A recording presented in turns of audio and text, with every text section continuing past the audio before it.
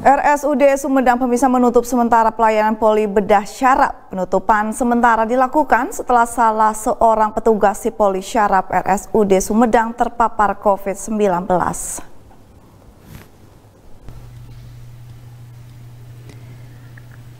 Guna mencegah penyebaran virus COVID-19 di lingkungan RSUD Kabupaten Sumedang, khususnya di bagian pelayanan polisaraf, Rumah Sakit Umum Daerah Sumedang menutup sementara pelayanan polisaraf mulai hari Selasa, 15 Juni 2021.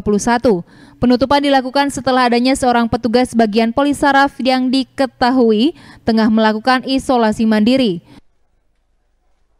Humas Rumah Sakit Umum Daerah Sumedang Dahlan Indrayana membenarkan kebijakan penutupan polisaraf mulai hari Selasa 15 Juni 2021.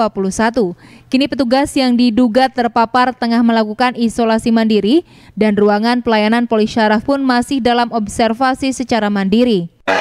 Emang betul betul poli bedah syarat kita sementara tutup ya. Hmm. E, mulai dari minggu sekarang poli bedah saraf tidak menerima layanan tapi itu hanya poli bedah saraf jadi tidak jadi poli yang lainnya tetap berjalan itu sementara waktu ini itu alasan karena teman-teman medis itu emang ada yang lagi isoman hmm. jadi tidak bisa memberikan pelayanan langsung.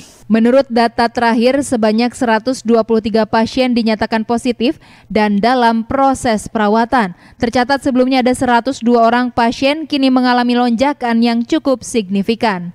Diki Guntara, Bandung TV.